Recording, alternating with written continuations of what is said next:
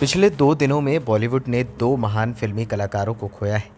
पहले बुधवार को इरफान खान का निधन हुआ और उसके बाद ऋषि कपूर ने 30 अप्रैल को इस दुनिया को अलविदा कह दिया।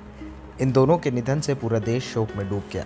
अभी इनके निधन से लोग उभरे भी नहीं थे कि इस बीच बॉलीवुड का एक और सितारा इस दुनिया को हमेशा के लिए अलविदा कह गया।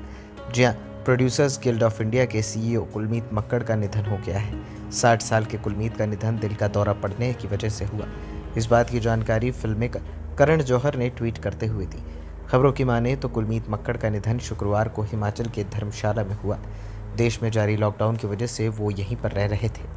फ़िल्म मेकर करण जौहर ने सीईओ कुलमीत मक्कड़ के निधन पर शोक व्यक्त करते हुए लिखा, कुलमीत, तुम प्रोड्यूसर्स गिल्ड ऑफ़ इंडिया के एक मज़बूत स्तंभ थे।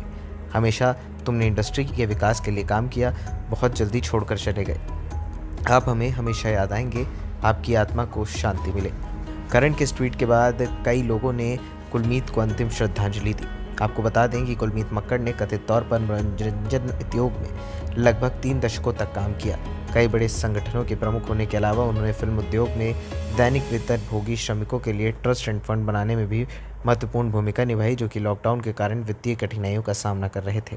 कुलदीप, इरफान और ऋषि कपूर के भी बेहद करीबी कहे जाते थे। यही वजह है कि इनके जाने के बाद एक बार फिर इंडस्ट्री में शोक का माहौल है। एएनपी न्यूज़ रूम की रिपोर्ट।